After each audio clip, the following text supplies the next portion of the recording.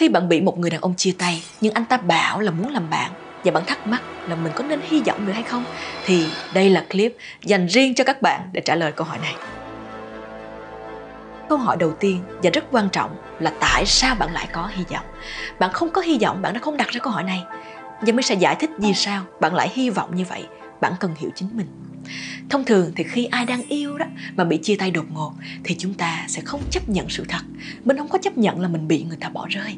Và vì không chấp nhận như vậy mà nó dẫn đến mình nghĩ rằng cái mối quan hệ này sẽ phải hàn gắn được. Chính cái đó nó tạo nên cái hy vọng của các bạn.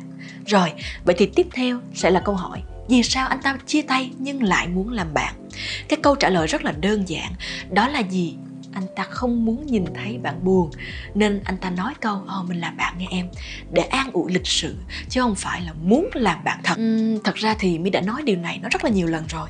Đó là mặc dù người đàn ông không còn tình cảm với cô gái nhưng khi nhìn thấy người bạn gái của mình bị tổn thương thì anh ta sẽ cảm giác mình tạm gọi là rất là tệ.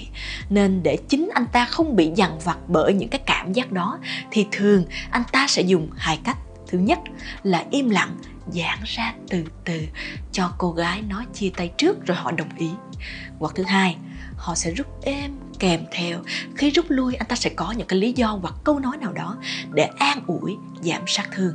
Ví dụ anh không đủ tốt với em anh tập trung sự nghiệp hoặc chúng ta làm bạn em nghe. Y chóc như cái, như cái câu mà anh nói với bạn luôn đó.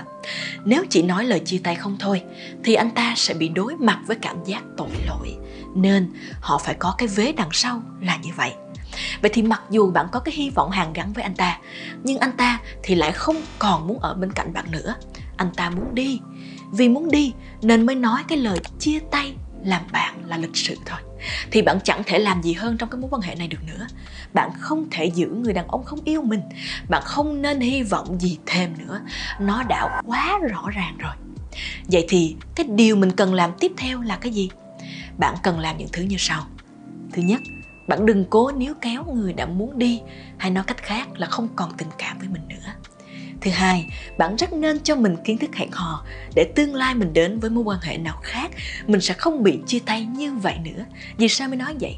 Bởi vì khi người đàn ông chủ động nói chia tay thì thật ra là cái mối tình đó đã hư tư trước mà bạn không nhận ra tình cảm anh ta dành cho bạn đã tuột đến một mức mà anh ta không còn muốn ở lại nữa luôn. Thì anh ta mới phải nói ra như vậy. Chúng được coi như là một lời giải thoát của anh ta vậy đó. Và khi bạn biết cách hẹn hò đúng, bạn sẽ biết mình cần làm gì để tình cảm người đàn ông không tuột đến cái mức đó. Vậy thì nếu là mi mi sẽ làm gì đây? Mi từng nghe được một câu này, người phụ nữ thường không nhận ra rung động của người đàn ông bị tuột cho đến khi chúng quá rõ để nhìn thấy. Và nếu mi bị người bạn trai của mi chia tay theo cách như vậy, thì cái điều mi cần làm ngay lập tức đó là quay lại mình. Mi sẽ tự hỏi, tại sao mình không nhận ra những cái dấu hiệu này từ trước vậy? Mi phải có kiến thức hẹn hò để tăng cái sự nhạy bén của mình, đủ để biết cái mối quan hệ của mình đang như thế nào, đặng mình chỉnh sửa kịp thời. Một cái xe nó hư, không phải ngày đẹp trời nó hư mà là nhớt nó hết, bô nó có vấn đề, máy móc bên trong lọc sọc, không có bảo trì, bảo dưỡng hàng tháng gì hết trơn. Và cái người lái cũng không chịu để ý thì cái kết quả nó mới hư như vậy. Và có kiến thức hẹn hò sẽ giúp bạn làm những điều bạn phải làm, cho dù bạn muốn hay không muốn.